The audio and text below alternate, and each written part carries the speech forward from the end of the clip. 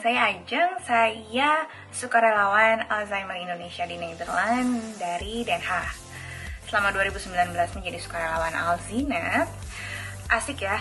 Uh, kegiatannya lumayan banyak meskipun nggak tiap bulan.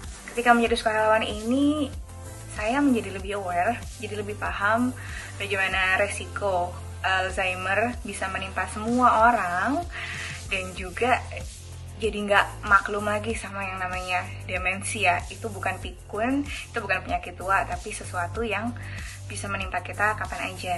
Nah uh, awareness inilah yang aku juga uh, berharap di 2020 bakal lebih menyebar lagi kepada lebih banyak orang. Um, tentunya salah satu channelnya lewat Alzinet dan Semoga kontribusi saya sebagai sukarelawan bisa membantu uh, penyebaran awareness tersebut di kemudian hari.